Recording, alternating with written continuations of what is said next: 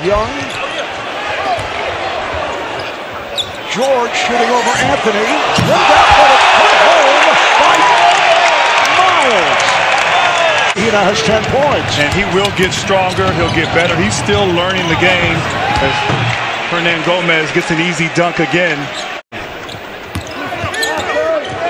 Ellis to the bucket. And it's put down. Ellis not able to hit, but the follow by Glenn Robinson.